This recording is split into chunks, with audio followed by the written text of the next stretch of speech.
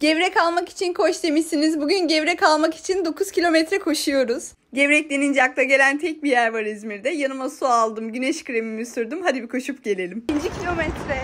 Sabah orası çok kalabalık o yüzden en iyisi akşamüstü gitmek. Bayağı bir rüzgar var. 4. kilometre.